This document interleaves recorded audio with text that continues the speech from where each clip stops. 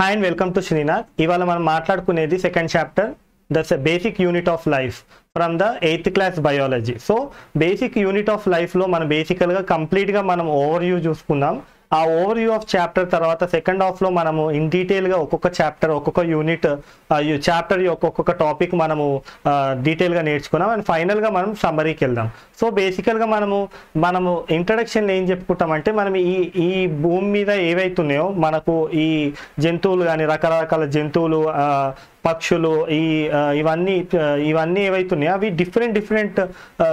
గా ఉంటాయి అన్నమాట కానీ డిఫరెన్స్ ఉన్నా కూడా మనకి ఏంటంటే బేసికల్గా అన్నిటికీ అన్ని రకాల జంతువులు క్రిములు ఇవన్నీ ఏంటంటే బేసికల్గా సెల్స్ అనేది బేసిక్ ఫంక్షన్ అనమాట ఓకే సెల్ వచ్చేసి it's basic structure and functional unit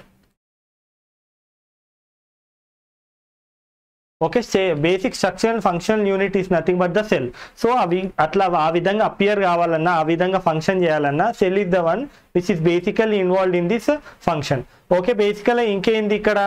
మనము ఈ సెల్ డిస్కవరీ అంటే ఈ సెల్ స్ట్రక్చర్ అంటే సెల్ ఈ విధంగా ఉందని ఎట్లా అబ్జర్వ్ ఎట్లా డిస్కవర్ చేసినాం అంటే because of the Robert Hooke okay ఈ రాబర్ట్ హుక్ అనే ఈ సైంటిస్ట్ ఏం చేసిండంటే బేసికల్గా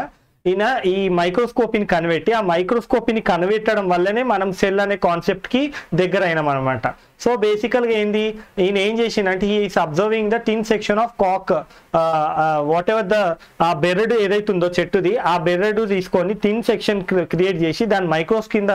మైక్రోస్కోపీ కింద అబ్జర్వ్ చేసినప్పుడు ఏం జరిగిందంటే ఆయనకి ఈ ఈ విధంగా చిన్న చిన్న రంధ్రాలు కనబడుతున్నాయి అనమాట సో ఈ విధంగా హ్యాలో ఎంటీ స్పేసెస్ ఏవైతున్నాయో అవిట్లని మామూలుగా ఆయన ఏం పిలిచిండంటే సెల్స్ అని పిలిచిండు so whatever the empty hollow empty empty cavities ఏవైతున్నాయో మధ్యలో మనకు ఆ ఎంటీ క్యావిటీస్ని వాడు ఏమని పిలిచిండు he he called it as and cells so nothing nothing but call as little rooms so little room are the cells are nothing one which are basically it is involved in the uh, it, it is involved in the process where basically they are uh, they uh, they are uh, making up the thin section of the uh, uh, of the bark and they are observing under the microscopy that is they are appearing in the form of little rooms or the empty cavities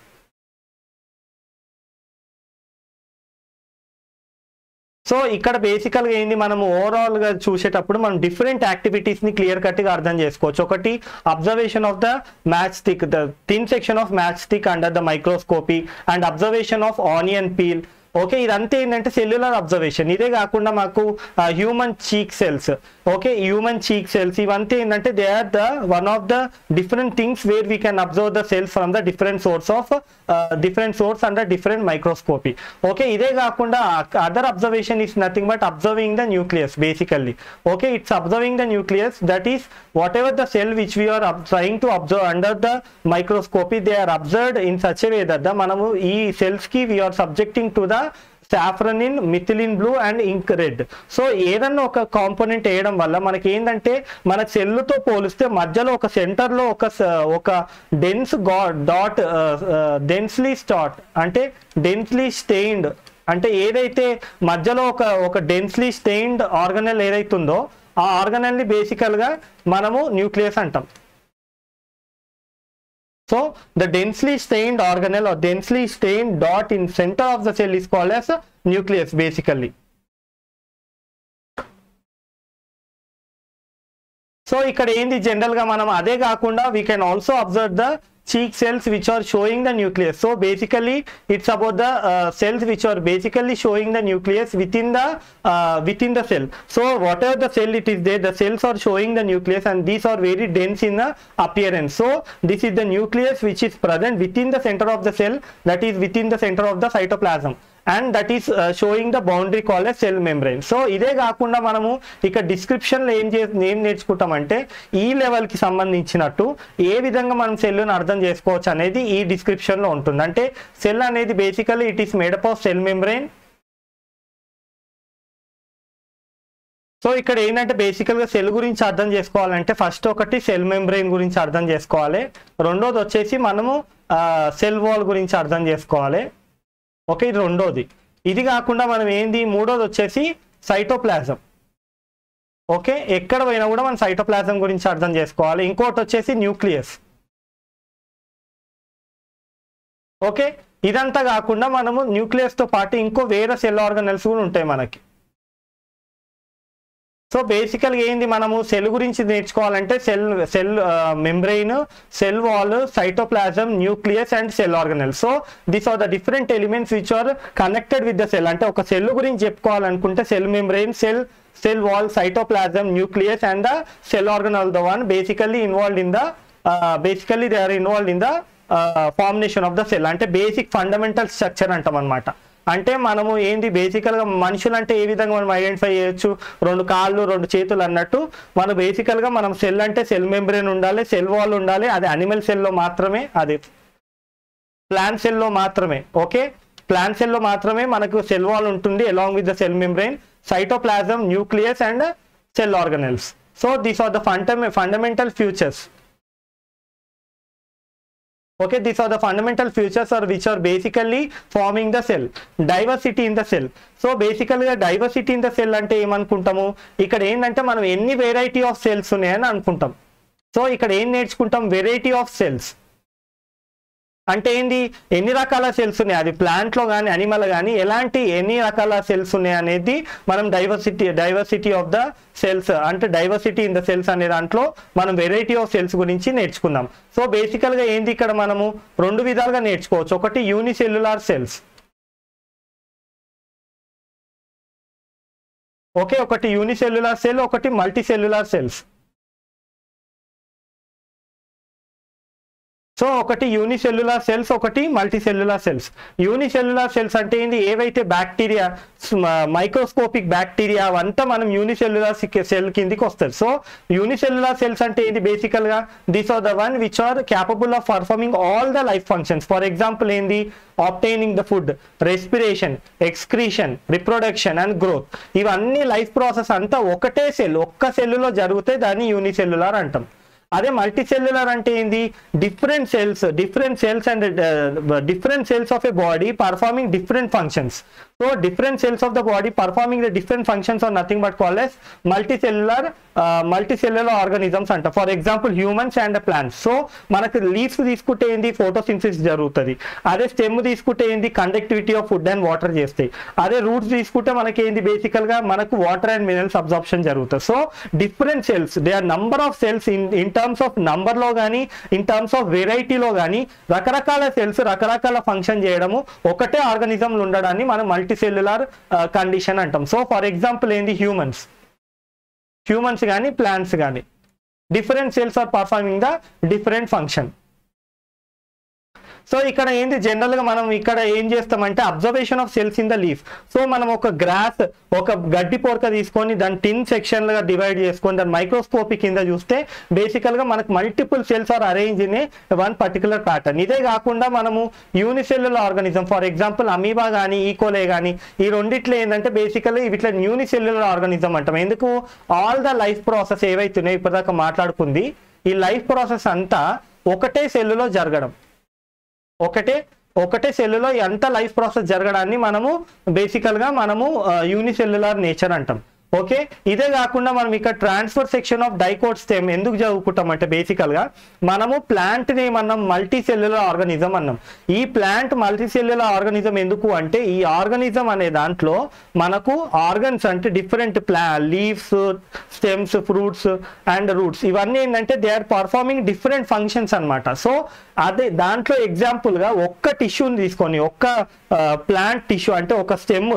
stem అంటే ఏంది plant organ అనమాట okay ఇది తీసుకొని బేసికల్గా దాన్ని dissection చేస్తే అంటే దాన్ని ట్రాన్స్ఫర్ సెక్షన్ తీసుకుంటే బేసికల్గా మనకు A B C and D group of cells ఉంటాయి సో ఏ గ్రూప్ ఆఫ్ సెల్స్లో ఏంటంటే బేసికల్గా they will form the outer structure of the stem so so they will form the outer structure of the cell ఇంకా B వచ్చేసి ఏంది they are involve in the conductivity of food and the water and C వచ్చేసి ఏంది బేసికల్గా మనకు B వచ్చేసి ఈ విధంగా conductivity and also synthesis photosynthesis and కంప్లీట్గా డి వచ్చేసేంది మనకు center part of the stem which are becoming hollow in a mature plant so ఎప్పుడైతే ప్లాంట్ చిన్న ఉన్నప్పుడు ఏబిసి మూడు నాలుగు లేయర్లు ఉంటుంది but coming to the mature ప్లాంట్కి వచ్చేసి ఏంటంటే మధ్యలో హ్యాలో ఫామ్ అవుతుంది అనమాట so A B C A ఏంటంటే structural integrity and also strength and the viability B వచ్చేసి ఏంది బేసికల్గా బి ఏంటంటే బేసికల్ it's బిని beneath the layer which is involved in the photosynthesis C వచ్చేసింది conductivity of food and the water so బేసికల్గా మనము అదే విధంగా అంటే ఎంత డైవర్స్గా ఉంది ప్లాంట్ ఆర్గన్ ప్లాంట్ సిస్టమ్ కూడా చాలా డైవర్స్గా ఉన్నట్టు మనకి అనిమల్ సిస్టమ్ కూడా చాలా డైవర్స్గా ఉంటుంది for example smooth muscle cells smooth muscle cells and striated cells ఇవి ఏం చేస్తాయి అంటే they involve in the muscular contraction అంటే ఏంది బేసికల్గా మస్కులార్ కాంట్రాక్షన్ అంటే ఏంది మనకు ఈ ఈ ఈ విధంగా అనాలంటే మనకు మజిల్స్ కాంట్రాక్ట్ కావాలి సో ఈ మస్కులర్ కాంట్రాక్షన్కి ఎవరు యూస్ఫుల్ మనకు స్టైటెడ్ మజిల్ సెల్స్ ఓకే ఇదే కాకుండా మనం తిన్న ఫుడ్ మీ వాటర్ అనేది మనం మింగగలుగుతున్నాం అది స్మూత్ మజిల్స్ వల్ల ఇదే కాకుండా నర్వ్ సెల్స్ ఏవైతున్నాయి ఇవి కోఆర్డినేషన్ ఓకే కోఆర్డినేషన్ అంటే బేసికల్ బేసికల్గా ఒక ఒక ఆర్గన్ ని ఇంకో బ్రెయిన్ సిస్టమ్ తో పనిచేయడం అనమాట ఇదే కాకుండా బ్లడ్ సెల్స్ బేసికల్ గా RBC cells and the white blood cells so basical గా ఆర్బీసీ సెల్స్ ఏంది they are involved in the RBC cells they are involved in the exchange of CO two and O two అదే మనకు white blood cells ఏంది బేసికల్ గా ఈ white blood cells they immune they present in the immune system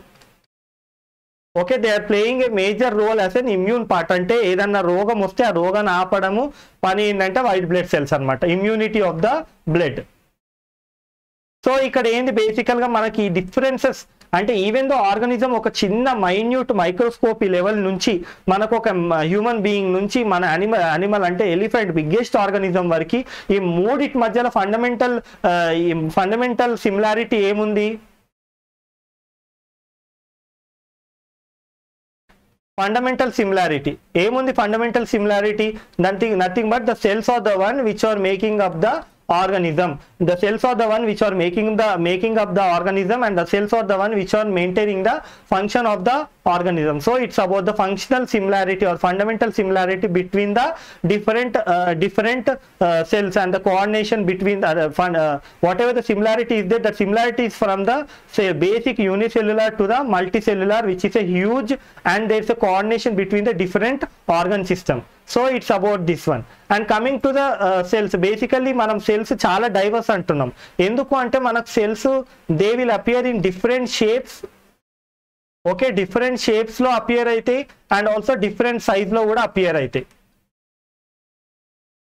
okay there difference in the shape and size so differences in the appearance of the shape and differences in the appearance of the size of the cell is the one which is creating the diversity ఇవి ఈ విధంగా differences ఎందుకు ఉన్నాయి మనం already diagram చూసినాం ఎందుకు there is difference in the size and in the shape and the size because to perform different function for example ఏంది for example మనకి నర్వ్ సెల్ ఉంది ఇక్కడ నవ్ సెల్ ఏంది ఒక్క ఎండ్ ఆఫ్ ఒక ఎండ్ నుంచి నవ్ ఇంపల్స్ నవ్ సిగ్నల్ని ఇంకో ఎండ్ తీసుకెళ్లాలంటే మేజర్గా అవి పెద్దగా ఎలాంగేట్ అయితే అవి క్లియర్ కట్గా కండక్టివిటీ ప్రాపర్గా చేయగలుగుతాయి అండ్ లాంగ్ డిస్టెన్స్ వరకు కూడా నర్వ్ ఇంపల్స్ అనేది క్లియర్ గా ట్రాన్స్ఫర్ అవుతుంది సో ఇక్కడ నర్వ్ ఇంపల్స్ నర్వ్ సెల్ అనేది it is the longest cell which is having the tendency of transporting the nerve nerve nerve impulse or the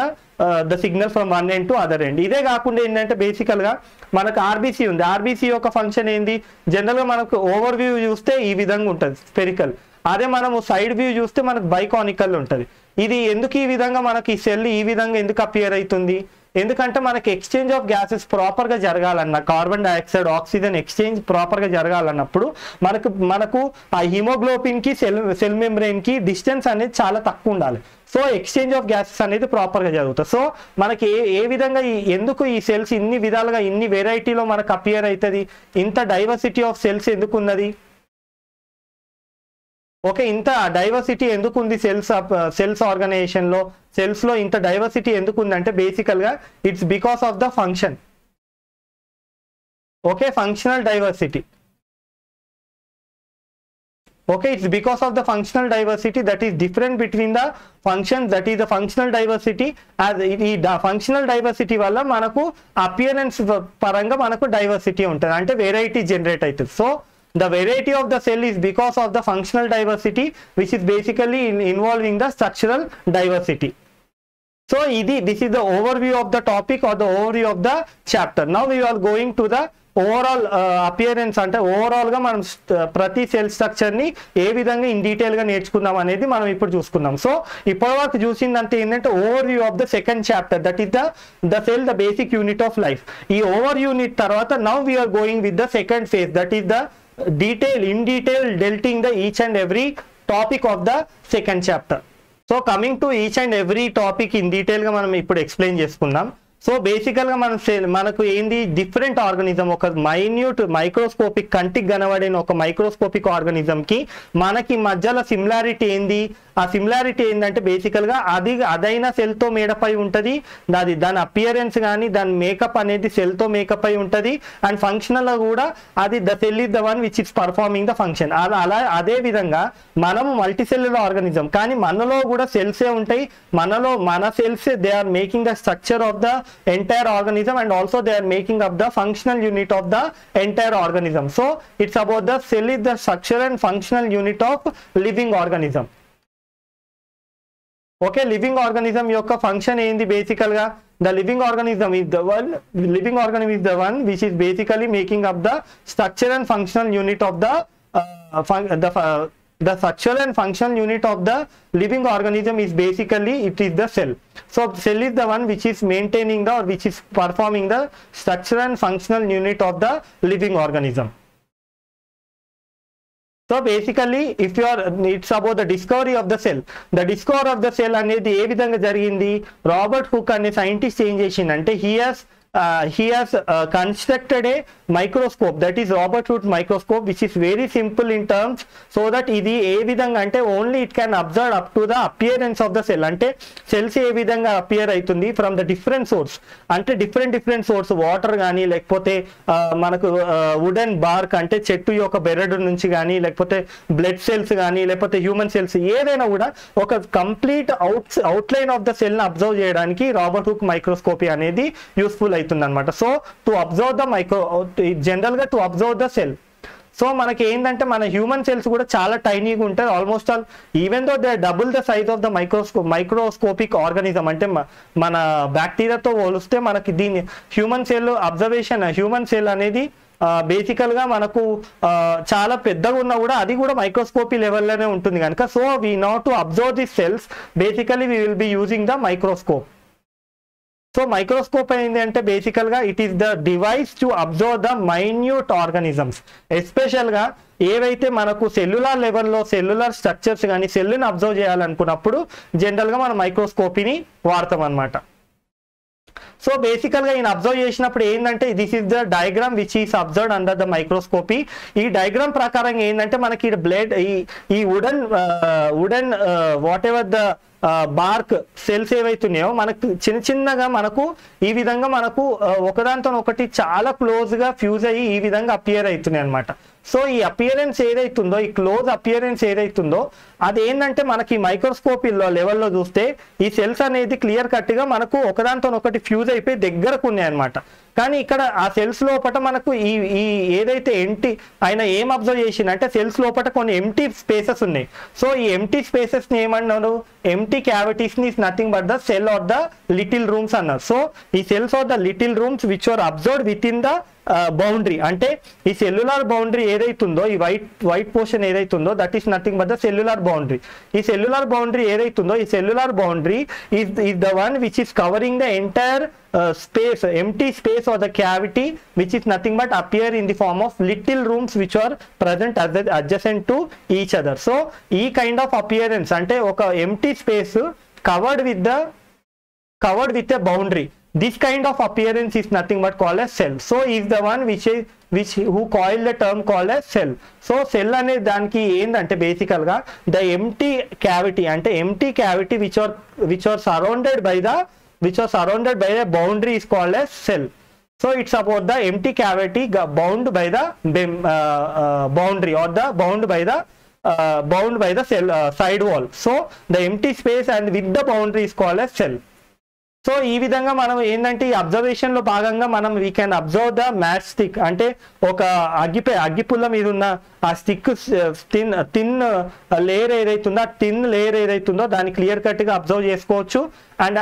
and అదే కాకుండా మనం ఆనియన్ పీల్ లో కూడా అబ్జర్వేషన్ ఆఫ్ ఆనియన్ పీల్ ని కూడా proper గా మనము చేసుకోవచ్చు అనమాట సో ఇదే కాకుండా we can also observe the human cheek cells ఇదంతా ఏంటంటే బేసికల్గా అబ్జర్వ్ చేసినప్పుడు ఏం కనబడుతుందంటే మనకు ఇక్కడ మనకు ఒకవేళ హ్యూమన్ మనకు ప్లాంట్ సెల్ తీసుకుంటే ఈ ప్లాంట్ సెల్ ఏదైతుందో ఈ plant cells basically they are showing the boundaries So they are showing the boundaries which are forming the boundary of the cell. So basically it is the uh, it is nothing but they are hexagonal in shape and they are very regular in size. So size shape lo chusukunte regularity undi and also hexagonal shape lo unnai and also size prakaranga chuste equal to the size of the bacteria so e kind of appearance basically it's about the onion peel cells ade manam ikkada endi basically బేసికల్ గా మనం human cheek cells లో చూసుకుంటే ఏంటంటే they are irregular size okay ఇక్కడ irregular size ఉంది ఒక్కొక్క cell ఒక్కొక్క సైజు ఒక్కొక్క షేప్లో ఉన్న ఇర్రెగ్యులర్ సైజ్ ఉంది యాజ్ వెల్ యాజ్ న్యూక్లియస్ గురించి చూసుకుంటే they are not in the central so nucleus is not central okay nucleus is not central and the cells are irregular in shape ఇక్కడ చూసుకుంటే plant సెల్స్లో చూసుకుంటే they are very regular and they are basically hexagonal shape okay and nucleus is central central nucleus is present. Okay, regular shape and size enduku ante because of presence of cell wall. Okay, because of the presence of cell wall, they are, showing the regular, regular and hexagonal shape. Okay, and also it and also they are showing the central nucleus. So we can also undergo uh, see the observation of the nucleus in the onion peel cell. So బేసికల్గా ఇక్కడ ఏం observe చేస్తున్నాము మనం ఎప్పుడైతే cells తీసుకొని దాన్ని clear కట్గా strain staining చేస్తే అక్కడ ఏం జరుగుతుందంటే బేసికల్గా there is appearance of a dense dot okay ఏ విధంగా అపియర్ అవుతుంది ఒక dense dot in the center okay ఈ డెన్స్ డాట్ ఏదైతే మనం డయాగ్రామ్ లో చూస్తున్నామో ఈ డెన్స్ డాట్ ని మనం న్యూక్లియస్ అంటాం సో ఈ న్యూక్లియస్ని ఏ విధంగా మనం ఐడెంటిఫై చేయొచ్చు అంటే ఒక సెల్ తీసుకొని దానికి we can add the we can add the reading reading or we can add the methylene blue or the saffron ఈ యాడ్ చేసినాక మనం దాని ఇంక్యుబేషన్ టైం తర్వాత ఆ స్లైడ్ మీద ఉన్న సెల్స్ని we we can we can we can we can show Uh, we can uh, after addition of the stains a uh, dry pipe cover glass vetti, then we can observe this under the microscopy so this observation is basically we are observing this kind of appearance if it is in a plant cell so this kind of observation is basically appeared in case of central part of the cell and this central part of the cell is the one which is basically appearing which is basically showing the nucleus so basically it's about the observation of the nucleus in the in the onion peel cells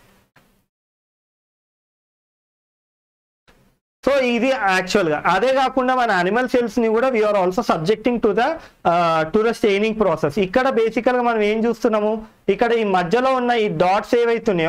dots. They are nothing but the nucleus and this is the, the transparent liquid edaythundo covering the nucleus is nothing but the cytoplasm and this is basically it is the one it is basically has the has showing the boundary that is nothing but the plasma membrane so plasma membrane is the one which is showing the boundary of the cell and this plasma membrane is the one which is covering the cytoplasm and also nucleus of the cell so ఇదంతా కాకుండా మనం clear కట్గా మనం ఏం తెలుసుకున్నామంటే మనకు మనము ఇవంత మనం ఒక సెల్ గురించి నేర్చుకోవాలనుకుంటే ఈ ఐదు ఎలిమెంట్స్ బేసికల్గా నేర్చుకోవాలి ఒకటి సెల్ మెంబ్రెయిన్ ఇంకోటి సెల్ వాల్ ఇంకోటి వచ్చే cytoplasm nucleus and also cell organelle so ఈ ఐదు మనం క్లియర్ కట్గా నేర్చుకుంటే మనము these are the fundamental futures of the cell అంటే ఏ సెల్ తీసుకున్నా కూడా కొంచెం డీవియేషన్ పక్క పెడితే మనకు these are making of the fundamental futures of the cell so బేసికల్గా మనం ఏం నేర్చుకుంటాము దట్ ఈ this are the entire paragraph ఇక్కడ ఏదైతే ఉందో this is about the explanation of the plant cell so ఈ డీటెయిల్గా మనం నేర్చుకుందాం ఇక్కడ ఏంటంటే సెల్ మెంబ్రెయిన్ సెల్ మెంబ్రెయిన్ బేసికల్ బేసికల్గా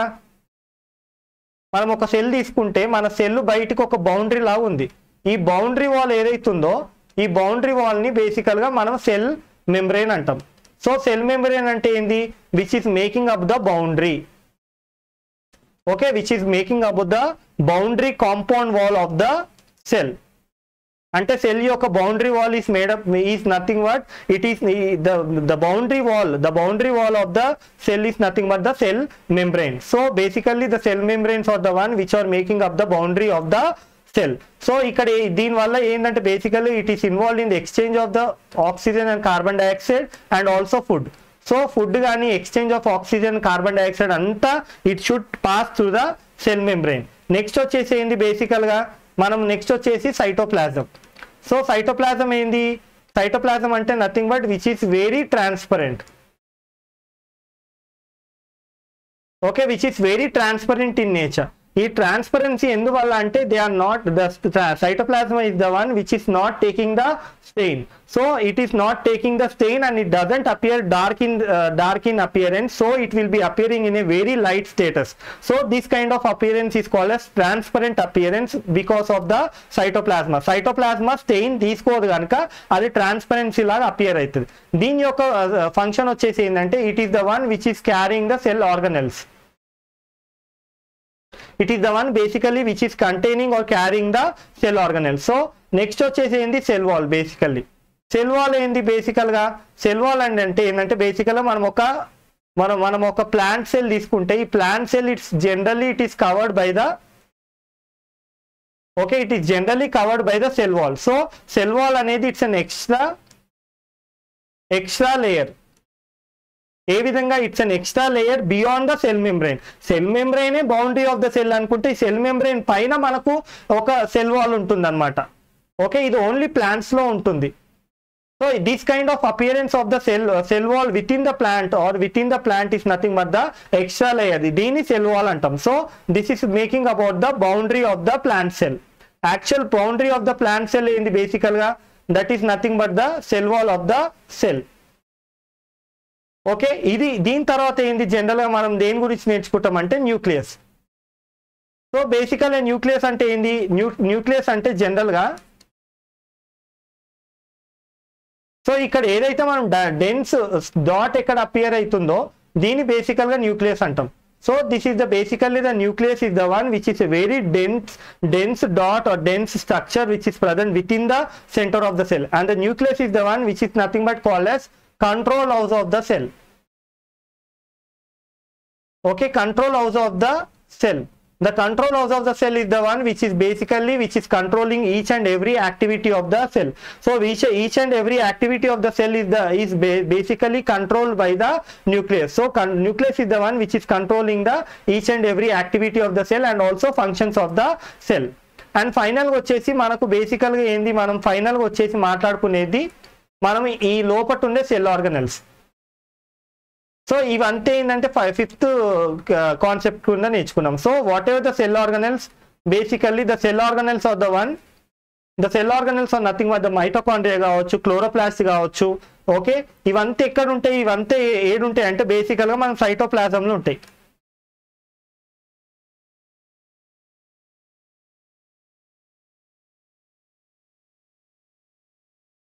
సో సైటోప్లాజం వల్ల ఏంటి బేసికల్గా cytoplasm is the one which is carrying the cell organelles so cyto సైటోప్లాజమా is the one which is basically carrying all the cell organelles for example mitochondria కానీ okay chloroplast కానీ ఇవన్నీ ఏంటంటే basically they are present in the cytosol అనమాట or cytoplasm so జనరల్గా ఏంటి ఏమేమి ఉండొచ్చు ఎన్నైనా తీసుకోవచ్చు అంటే ribosomes mitochondria chloroplast lysosomes okay including the nucleus all this are present within the cytoplasm these all this cell organ all this elements like మనం ఏదైతే మాట్లాడుకున్నాం మైటోకాండియా క్లోరోప్లాస్ లైసోజోమ్ ఇవంతా ఏంటంటే they are coming under the category call cell organelles so cell organelles are the one which are present with in the cytoplasm so మనం ఇప్పుడు మళ్ళోసారి మనం ఈ టాపిక్ ని క్లియర్ కట్ గా మళ్ళోసారి మెమరైజ్ చేసుకుందాం సో ఇక్కడ ఏంటంటే cell is the structure and functional unit of the living organism and basically it's it's about the structural similarity అంటే ఒక యూనిసెల్యులర్ ఆర్గానిజం ఒక మల్టీసెల్యులర్ ఆర్గానిజం తీసుకుంటే బేసికల్గా వీటి మధ్య రెండింటి మధ్యలో ఏం సిమిలారిటీ ఉందంటే they are they are possessing the structural cells the cells are the one which is maintain the structure of the organism and also maintaining the function of the organism that is the living organism so ఈ these are the different activity which can be perform to observe the the appearance of the cell okay ఇదే కాకుండా మనం clear గా ఇక్కడ ఏం నేర్చుకుంటాం బేసికల్ బేసికల్గా మనం సెల్ సెల్ గురించి తెలుసుకోవాలనుకుంటే సెల్ యొక్క ఎలిమెంట్స్ గురించి నేర్చుకోవాలి ఒకటి cell cell membrane cell wall cytosol that is nothing but cytoplasm nucleus and the cell organ cell organelle so this these five are the one which are basically making up the fundamental futures of the cell okay దీన్ని మనం clear గా ఇక్కడ నేర్చుకున్నాం cell membrane యొక్క function ఏంది exchange of gas and food materials and also waste material cytosol and the transparent which is consisting of cell organelles cell wall వచ్చేసి extra layer which is making of the boundary of the plant cell ఇంకోటి వచ్చేసి బేసికల్గా nucleus which is present in the centre of the cell and also cell organelles which are present within the transparent cytosol next topic వచ్చేసి బేసికల్గా it's about the diversity of diversity within the cell so మనం cells ప్రకారంగా మాట్లాడుకుంటే ఏంటంటే మనకు రెండు రకాల category తీసుకోవచ్చు ఒకటి ఒక కేటగిరీ వచ్చేసి యూనిసెల్యులర్ సెకండ్ కేటగిరీ వచ్చేసి multicellular so unicellular organism is the one basically they are showing all the life process so అన్ని life process for example food కానీ రెస్పిరేషన్ కానీ ఎక్స్క్రీషన్ కానీ గ్రోత్ కానీ రిప్రొడక్షన్ కానీ ఇవంతా ఏంటంటే they are they are performing only in one particular cell that then they are called as unicellular for example ఏంది single cellular organism like Chlamydomonas okay Chlamydomonas ఇది పారామీషియన్ amoeba ఇవంతా ఏంటంటే simple cells they are the cells which are having single all the life of the cell is present only in one cell so the single cell single cells single cell life ఏదైతుందో ఆ single cell లైఫ్ని మనము unicellular uh, అంటాం బేసికల్గా all the life process taking place in one particular cell and coming to multicellular జనరల్గా multi cellular అంటే ఏంది different cells are performing the different function అంటే ఏంది మనం హ్యూమన్సే తీసుకోండి మన కళ్ళ ద్వారా చూస్తాము కిడ్నీ ద్వారా మనకి యూరిన్ ఫిల్ట్రేషన్ అవుతుంది బ్లడ్ ఏం చేస్తుంది బ్లడ్లో ఉన్న cells oxygen carbon dioxide supply చేస్తుంది so different cells are performing different function అదే brain cells blood blood function చేయి బ్లడ్ సెల్స్ బ్రెయిన్ ఫంక్షన్ చేయి సో మల్టీ సెల్యులర్ ఆర్గానిజంలో ఏంటంటే లైఫ్ ప్రాసెస్ అనేది సిస్టంలో ప్రతి సెల్స్ మధ్యలో మనకు యాక్టివిటీ అనేది ఫంక్షన్ అనేది డిస్ట్రిబ్యూట్ అవుతుంది అనమాట సో ఇక్కడ ఏంది బేసికల్ గా మనకి ఇక్కడ ఈ డయాగ్రామ్ అంటే ఈ permanent slides of the unicellular organism for example amoeba కానీ ఈకోలే కానీ ఇవి పర్మనెంట్ స్లైడ్స్ అనమాట పర్మనెంట్ స్లైడ్స్లో మనం మనం చూసే అపియరెన్సెస్ సో ఈ పర్మనెంట్ స్లైడ్స్ ఏంటంటే బేసికల్గా they will take the thin section of the microorganisms అంటే మైక్రో ఆర్గనిజమ్స్ తీసుకొని దాని ఒక ఒక స్మియర్ లాగా ఒక చిన్న టిన్ లేయర్ ఫామ్ చేసి దాన్ని మైక్రోస్కోపీ కింద అబ్జర్వ్ చేస్తారు అనమాట సో ఈ observation of the microorganism under the microscopy is the is the outcome ఆ అవుట్కమే ఈ విధంగా మనకు అపియర్ అవుతుంది అది అమీబా కానీ లేకపోతే ఈకో ఫోటోలే కానీ దీన్ని మనం permanent slides of the microscopy or the permanent slides of the microorganism under the microscopy so బేసికల్గా ఇక్కడ ప్లాంట్ సెల్స్ ఏవైతున్నాయో సో ప్లాంట్ సెల్స్ ఏవైతున్నాయో ఈ ప్లాంట్ సెల్స్ ఏవైతున్నాయో బేసికల్గా ఈ ప్లాంట్ సెల్స్లో మనం చూసినట్టు ఏ మనకు మధ్య లేయర్ వచ్చేసి బి అండ్ ఇంకో మిడిల్ లేయర్ వచ్చేసి సి అండ్ ఫైనల్ వచ్చేసి డి సో ఈ ఈ లో ఏంటంటే బేసికల్గా ఏ అనేది ఏంది జనరల్గా ఈ అవుటర్ లేయర్ ఈ outer layer of the stem ఏదైతుందో they will provide the strength and the they will be providing the strength okay they will be providing the strength and the structure to the plant అదే కాకుండా B B గురించి ఏంది B ఏంటంటే జనరల్గా మనకు ఇక్కడ ఏదైతే మన ఇన్నర్ లేయర్ అవుతుందో దాన్ని బి అంటాం సో ఈ బి ఏంది బేసికల్గా దీంట్లో క్లోరోప్లాస్ట్ ఉంటుంది కనుక వీటిలో పని ఏంది బేసికల్గా ఫోటోసింథసిస్ అంటే ఫుడ్ సింథసైజ్ చేయడం అండ్ సి వచ్చేసి ఏంది బేసికల్గా C is the one which is involved in providing the water and the food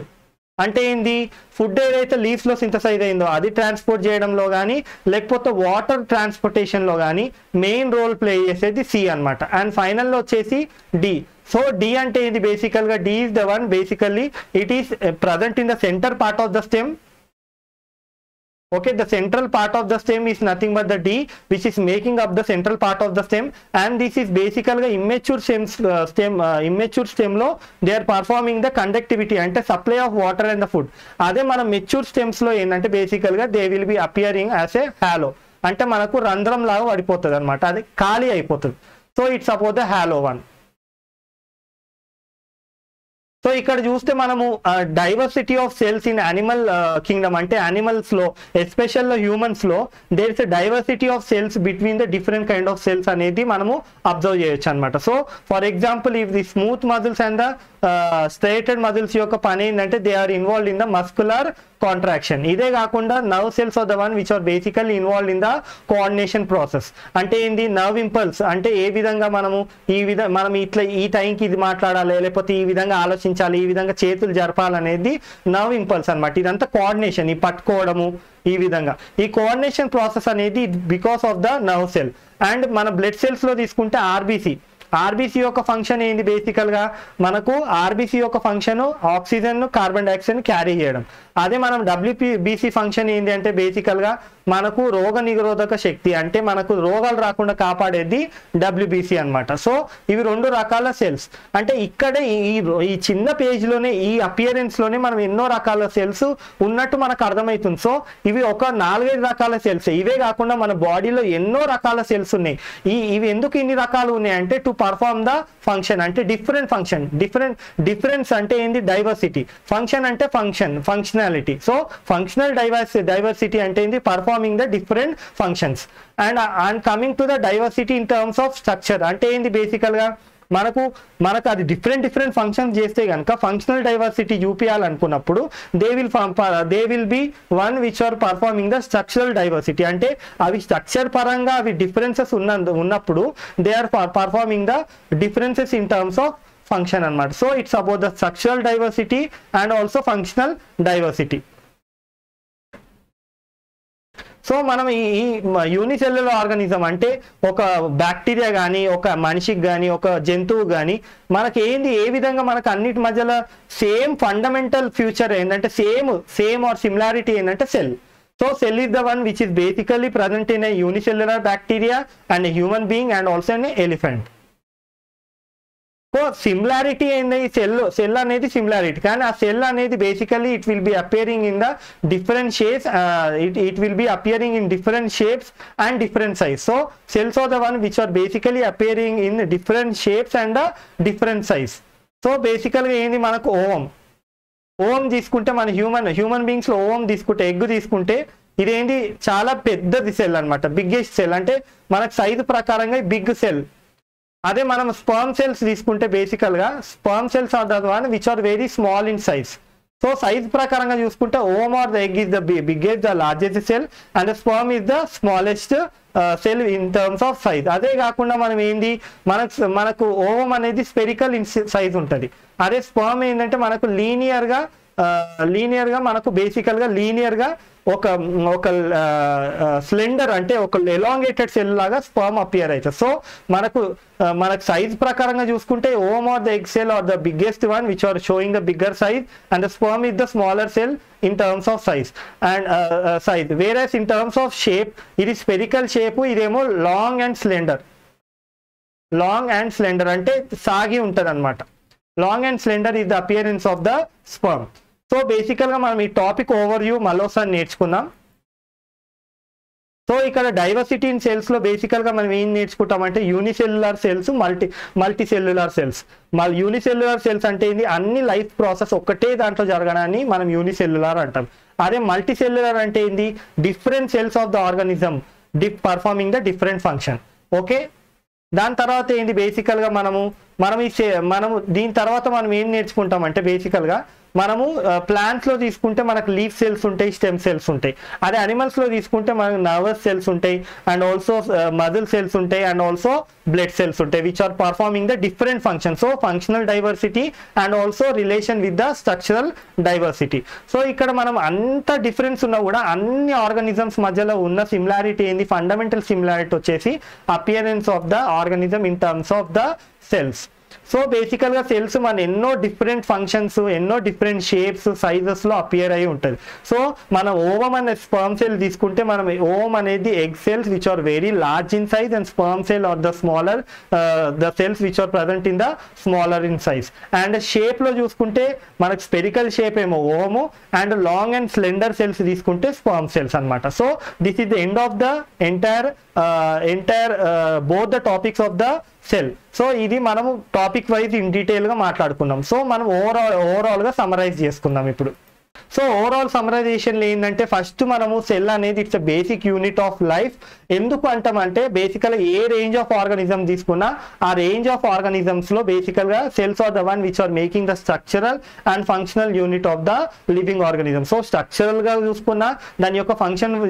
చూసుకున్నా they are made up of a single cell. So observation under the observation observing the cells under the Robert Hooke microscope is the one where basically we can observe the different kind of cells. So ఇక్కడ different different activities ఉంటాయి and also మనం న్యూక్లియస్ని cell వాల్ని cell అపియరెన్స్ని కూడా మనం చూడగలుగుతాం okay and మనకు సెల్ సెల్ గురించి చెప్పుకోవాలనుకుంటే సెల్ గురించి ఫండమెంటల్ స్ట్రక్చర్ ఏంటంటే సెల్ యొక్క ఫండమెంటల్ స్ట్రక్చర్ ఏంటంటే అంటే సెల్ సెల్లులో మనకు cell membrane cell wall plant अच्छे सैटोजा cytoplasm nucleus organelle इवीं these are fundamental features of a particular cell so which is making of a plant or animal cell so బేసికల్గా ఇక్కడ ఏంది ఇది ఇది ఇక్కడ నేర్చుకుంటాం సో డైవర్సిటీ ఇన్ ద సెల్స్లో ఏంటంటే unicellular cells and multicellular cells unicellular cells అంటే ఏంది all the life process play taking place in one one particular cell for example excretion respiration growth reproduction ఇవంతా మనకు ఒక సెల్లో జరగాలని యూనిసెల్యులర్ అంటాం lower organism higher organism different cells performing the different functions all the life process so ఇక్కడ మనం plant appear అంటే ఇక్కడ మనం permanent slides of the mummy band equal అయి చూడొచ్చు and at the same time observing the cells within the leaf or the different organ organs different organs of the plant అనేది leaf and the stem లో కూడా చూసుకోవచ్చు and coming to the different kind of animal cells within present within the animal or the human beings smooth muscle cells striated muscle cells nerve cells which are involve in the coordination and also the blood cells which are involve in the RBC and the immunity they are making up the diversity of the cell so basically this is about the diversity within the cell or of the cell ఈ cells లో మనం diversity గురించి నేర్చుకునేటప్పుడు different cells they will diverse in terms of structure and appearance లో మనకు different different స్ట్రక్చర్స్లో appear అయి ఉంటుంది అట్ ద సేమ్ టైం లో కూడా they are they they are showing the differences in terms of the function that is the functional diversity So coming to the functional similarity, basically some uh, functional uh, uh మన functional మనకు difference అంటే for example unicellular నుంచి multicellular organism మధ్యలో మనకి ఏ విధమైన fundamental similarity ఉందంటే basically they are they are similar in terms of having the cells in maintaining the structure and also functional functionality and coming to the example అంటే మనము ovum and sperm cell తీసుకొని difference in the shape difference in the size అనేది మనం clear కట్గా అర్థం చేసుకోవచ్చు ovum cell is the one which is larger in size and they spherical in shape and coming to sperm it is the smaller in size and they are appearing in a long and slender form this is about the different size and the shape that is the diversity within the cells so this is the end of the chapter and here we will be closing this chapter and ఏ విధంగా మీకు ఏమైనా comments ఉంటే మీరు comment బాక్స్లో drop చేయొచ్చు so మీ ఫ్రెండ్స్తో ఈ వీడియో షేర్ చేసుకోండి and also try to like and share and subscribe our channel to get whatever the videos we are making by day to day life and ఏ చా ఏది తీసుకున్నా కూడా మీరు ఇన్డెప్త్ మేము కవర్ చేసినాం సో మీకు ఎక్కడ ఏ పార్ట్ అర్థం కాకపోయినా అది మళ్ళీ రివర్స్ చేసుకొని మీరు మీరు చూసుకొని అర్థం చేసుకోవచ్చు and this is about the explanation of the second chapter that is nothing but the eighth, uh, eighth class of uh, state and the uh, state Telangana state and AP state యొక్క biology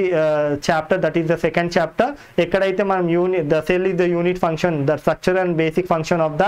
life అనేది మనము నేర్చుకోగలుగుతాం అనమాట so thank you for watching the video